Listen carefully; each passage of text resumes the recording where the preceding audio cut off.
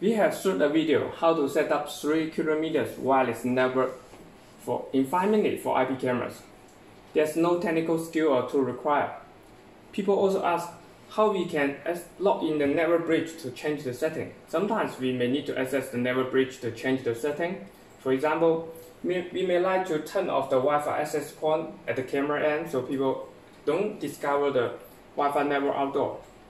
Alright, uh, I'm going to use this computer to log in the network bridge. Actually, we also can use the mobile device. It's only the web browser we need. So, uh, technically, any device with the web browser will do. There still have another way we can access the network bridge.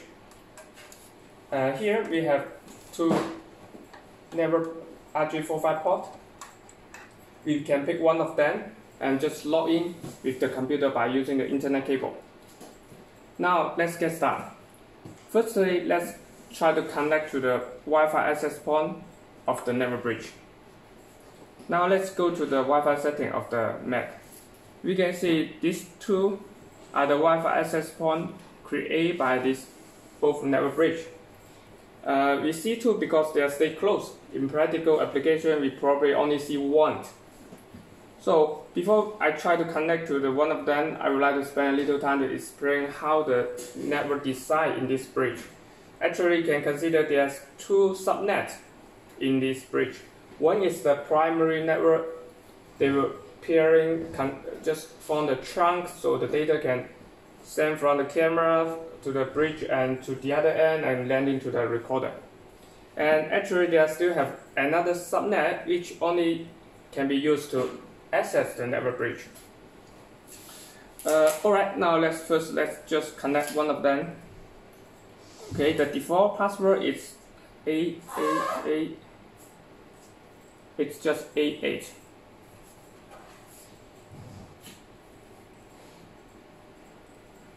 Alright, now one more.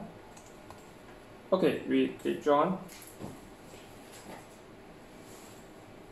Just wait for a while. Now we can see once we connect to the bridge, we also have the internet. The reason is because this moment the Mac is using the primary network because this receiver has been connecting to our primary ne network with the internet accessing. So now this Mac also can access the network. However, we cannot access the bridge because the bridge is using a different subnet. Now, so before we can go to access the bridge, we will need to manually configure the IP address of the Mac. So we open the network preference and we go to the advanced. Then we go to find the TCP IP. Here we can see now the net Mac is receiving the prime uh, the IP address from our primary network network. But I have to manually change so in order to access the network bridge, now I'm going to fill in the IP address 169.254.254.100. 100 is just the IP address and up for this Mac. So the, the subnet is 255.255.0.0. So there's no need for the because they are going to stay in the same network. Alright, now we apply and save. Just wait for, for a while for the Mac to have the new setting. Alright, now we just open the browser. Here I'm going to type in the IP address 169 192.255.254.254. This is the broadcast IP address. Okay, we are changing. This is the broadcast IP address. It's going to send a message to the whole net to and both receive both bridge will respond and we can see we have two devices. One is the master, one is the slave. So we'll go to the server. This is working in server mode. We log in and uh, username and password is admin 44 we can change after we log in. Never?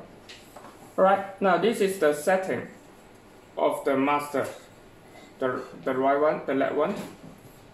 And we can go to Wi-Fi. Here we can see the Wi-Fi setting. All right if we want to hide the Wi-Fi access point, we just click, check the hide and just click save. So we're not able to discover the Wi-Fi access point by using the mobile device or the uh, iPad. And we also can go to see the bridge setting. We can see most like the protocol bandwidth all has been setting to auto. So technically we don't need to configure anything, we just need to make sure both work in the same channel and the one is the server, the other is a client. Then we can form the trunk between the two point, point to point. The one more thing which is important is the wireless channel. Here we need to make sure the wireless channel you are using just uh, make the regulation of the local and also it's not forbidden. Alright, that's all. Thanks for hanging out. Don't forget to subscribe. If you have any question, please leave a comment below.